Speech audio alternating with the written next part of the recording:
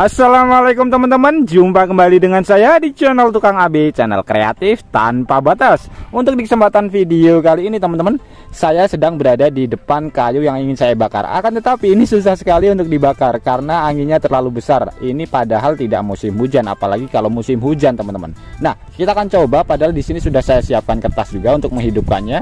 Tapi karena anginnya terlalu besar Jadi susah. Apalagi kayu seperti ini yang akan kita bakar. Nah di video kali ini saya akan berbagi trik bagaimana cara membuat sebuah alat uh, alat bahan bakar ya? Bahan bakar yang aman yang bisa kita pergunakan untuk membakar kayu seperti ini. Apalagi buat teman-teman yang suka camping atau buat sekedar bakar-bakar sampah.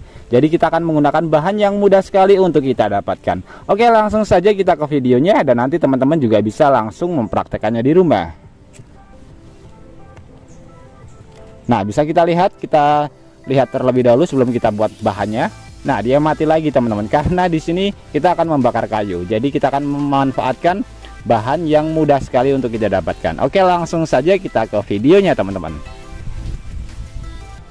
Oke teman-teman untuk bahan utama yang harus kita siapkan di sini adalah wadah seperti ini. Untuk wadahnya saya menggunakan wadah yang berbahan e, kaca seperti ini ya. Dan di sini sudah saya siapkan yang sudah saya hilangkan kertasnya supaya nanti terlihat.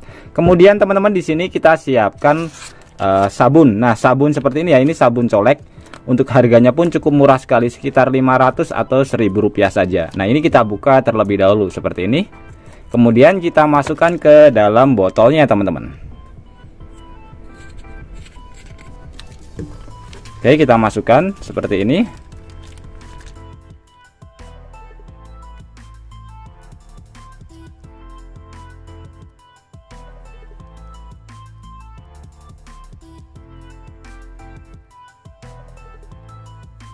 Oke seperti ini teman-teman setelah kita tuangkan ke dalam botol ya. Bentuknya seperti ini seperti krim. Kemudian di sini kita siapkan bahan lagi yaitu bahan yang mudah sekali kita dapatkan. Pertalite teman-teman. Ini saya ambil dari motor ya. Jadi kita hanya membutuhkan sedikit saja.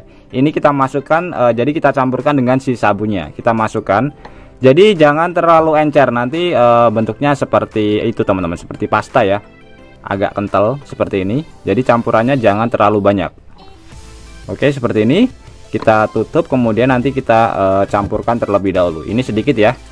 Kita aduk sampai dia benar-benar menyatu. Oke seperti ini. Kita campurkan terlebih dahulu. Sampai dia benar-benar menyatu teman-teman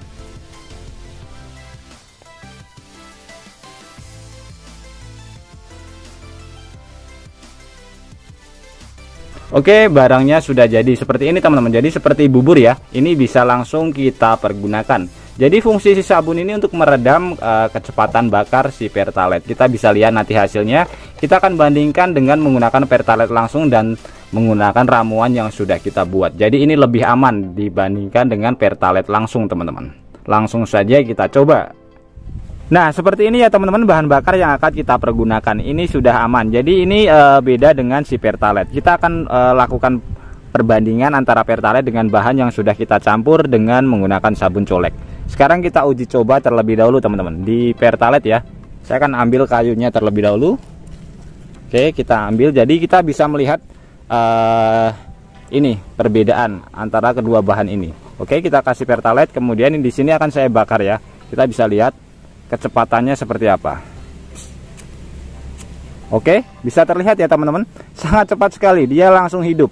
Jadi dalam kondisi banyak dia pasti akan e, berbahaya di tangan. Sekarang kita akan uji coba bahan yang sudah kita e, buat ya seperti ini campurannya. Kita masukkan. Dia seperti pasta. Nah seperti ini. Oke kita ambil lagi. Kita bisa lihat hasilnya perbedaannya teman-teman. Kalau ini saya tidak terlalu takut jadi ini kita bisa lihat di dekat dekat kamera ya seperti ini. Oke kita hidupkan. Nah bisa terlihat teman-teman.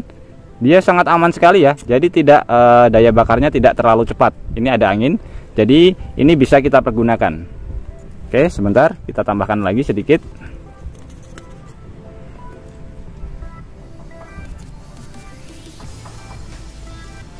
Oke kita fokuskan. Nah bisa terlihat teman-teman.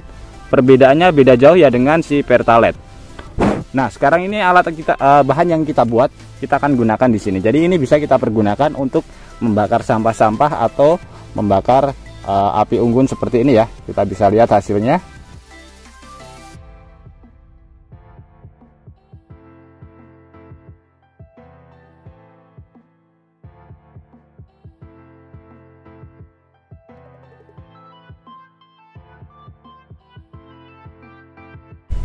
kita bisa lihat hasilnya.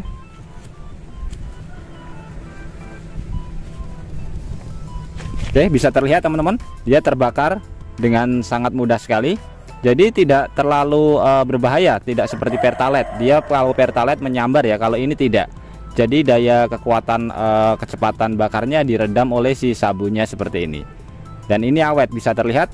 Jadi ini bisa kita bawa ke mana-mana teman-teman. Bisa kita taruh di uh, tempat yang aman bisa kita pergunakan untuk membuat api unggun atau hanya sekedar membakar sampah saja seperti ini. Dan untuk bahannya pun mudah sekali untuk kita dapatkan ya. Hanya menggunakan uh, sabun dan juga pertalite kalau kita pengen membeli minyak tanah sekarang juga harganya lumayan mahal teman-teman. Nah bisa terlihat hidup dengan sangat mudah sekali